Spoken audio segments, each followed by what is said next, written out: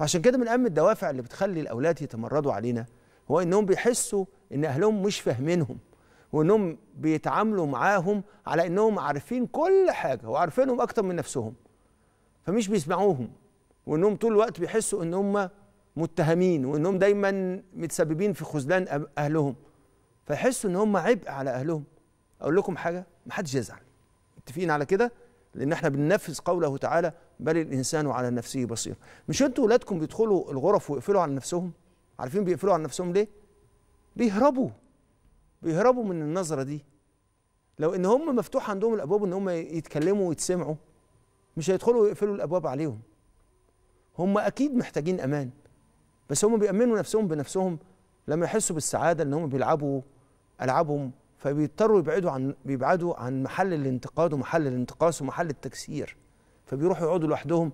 يقولوا والله أنا لو شايف نفسي عندي نقص أحسن ما أتكسر من كتر الانتقاد اللي بتعرض ليه.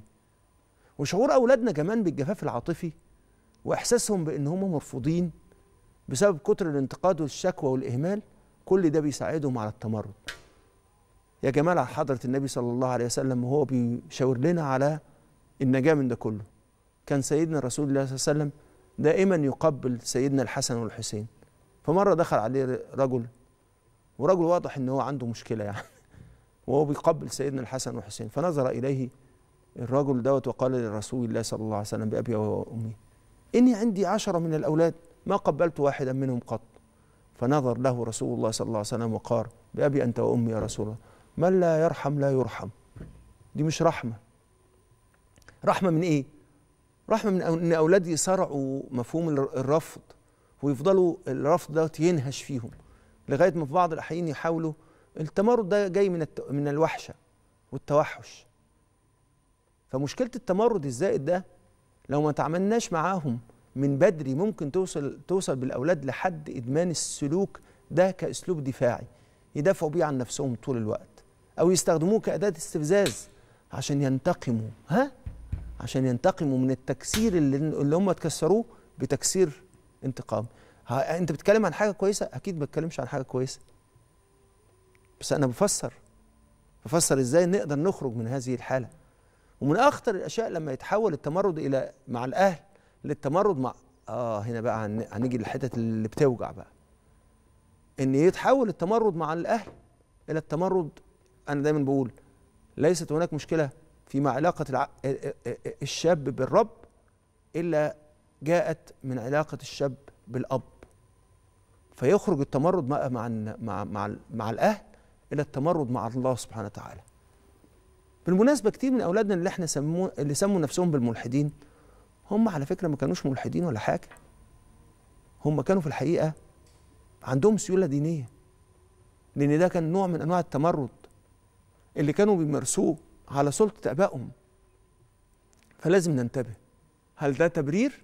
لا ده تفسير عشان نعرف المدخل اللي هندخل بيه على أولادنا.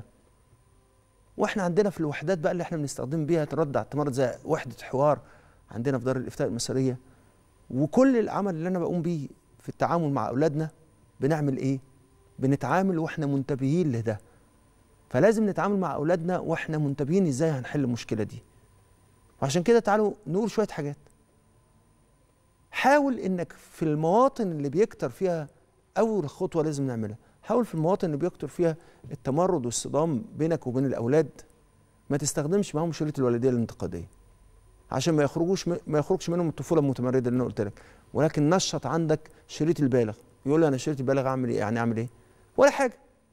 سهلة خالص. هقول لك هقول لك أداة سهلة خالص. اسأل أسئلة حقيقية. يقول لي يعني إيه أسئلة حقيقية؟ أقول له طب أنا بقول له هو ينفع كده؟ اهو ده سؤال. لا ده مش سؤال ده اتهام ده سؤال استنكاري. قال له طيب. لما أقول له هو انت هتفضل كده طول عمرك؟ ما هو ده مش سؤال برضه ده ده استهزاء. أو أقول له مثلا أكيد انت بتحب ربنا. ده برضه مش سؤال ده سؤال ايحائي. لازم تسأله سؤال واضح. أقول له إيه؟ ببساطة الولد مطول شعره. خلينا نتكلم عن الولد مطول شعره. ولد مطول شعره. وشكله مطول شعره وأنا مش حابب الأمر ده. حبيبي أنت مطول شعرك ليه؟ ده سؤال حقيقي. فيجاوب عليه قول له وأنت شايف شكل وشكل وشكل الناس وشكل وشكلك وأنت متشعر شعرك عاجبك؟ آه عاجبني. خلاص يا حبيبي. لو شايفه جميل مفيش مشاكل. هيجي يقول لي يعني أنت ما عندكش مشكلة إن أنا اطور شعري؟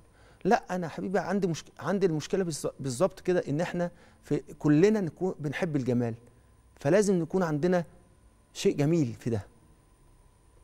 بعد شوية هيبتدي هو يفكر أنا سبته خلاص بس ده كل دوري.